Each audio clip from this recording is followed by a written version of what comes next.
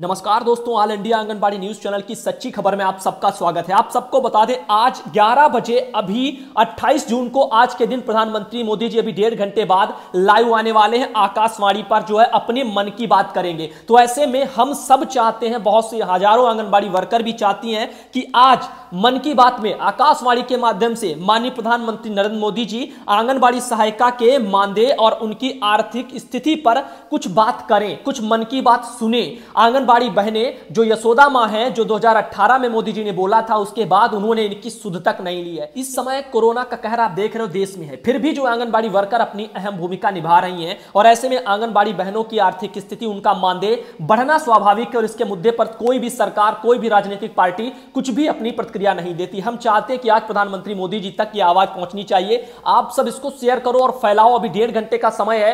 हम इसको ट्विटर पर भी डाल देंगे लिंक और वहाँ पर भी आवाज़ उठाएँगे कि आंगनबाड़ी बहनों को लेकर के उनके मानदेय और उनकी यहाँ पर स्थिति को लेकर के यहाँ पर सरकार कुछ कहे, मानदेय पर कुछ मोदी जी बोले। इसके बारे में हम सब आवाज़ लगाते हैं और इस उम्मीद के साथ कि आप सब वीडियो को शेयर करेंगे, ताकत को बढ़ाएँगे और यहाँ पर उम्मीद कर रहे हैं। अभी ट्विटर अकाउंट पर भी मैं पोस्ट डाल दूँगा अपनी। तो आप सब भाई बहनों की क्या राय है? कमेंट बॉक्स में ज़रूर टाइप करिए। आप सब भी मेरी तरह यही चाहते हो कि आज मोदी जी कुछ चार शब्द आंगनबाड़ी के लिए भी बोले, क्योंकि बहुत उम्मीद है आज के दिन, क्योंकि यहाँ पर हम सब चाहते हैं, अभी समय है यहाँ पर जानकारी पहले से आज लाइव आने वाले और आज मन की बात आकाशवाणी से करने जा रहे हैं। केशवा प्रसाद मौर्य जी हैं, डिप्टी सीएम, उन्होंने ट्वीट किया है। उनका कहना है, प्रधानमंत्री नरेंद्र मोदी जी आज 11 बजे आकाशवाणी से अपने मन की बात करने जा रहे हैं तो अपने विचारों को वो साझा करेंगे। इन विचारों में आंगनबाड़ी बहनों की बातें भी होनी चाहिए, बहुत ही ज़रूरी है, क्योंकि यही मोदी जी ने 2018 में बोल दिया था कि आंगनबाड़ी यशोदा माँ है। बहुत मेहनत करती हैं, बहुत काम करती हैं, इस समय कोरोना वॉरियर्स की तरह काम भी कर रही हैं, लेकिन सरकार जो है, तमाम राज्यों की सरकारों का ध्यान इनकी तरफ़ नहीं है। ना तो इनको बीमा कवर मिला है, ना ही सुरक्षा किट मुहैया हुई है।